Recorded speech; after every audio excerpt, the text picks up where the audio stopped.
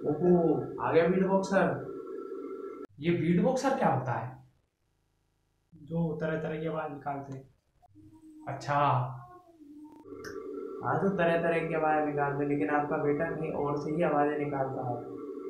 पिछवाड़े से इतनी गंदी गंदी तोप के गोले छोड़ता है कि नाक के बाल तक जल जाते हैं।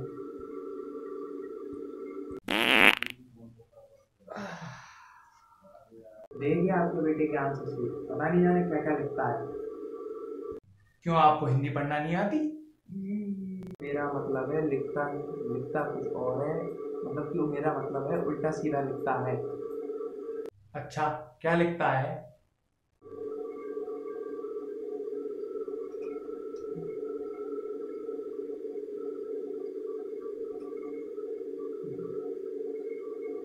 नाम में आया कि डेंगू से बचने के तरीके बताएँ तो आपका लाडला लिखता है कि सर, इतनी, सर, नैनो साइज़ की कॉन्डोम तो बन ही नहीं सकती।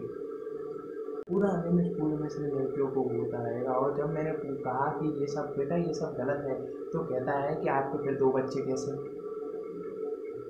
आज आपका बेटा इस स्टेज पर है कि अगर इसको खुला छोड़ दिया जाए तो ये आपको दादा बना दे।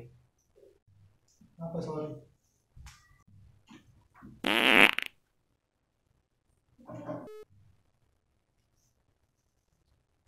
क्या बोल रहे हैं आप?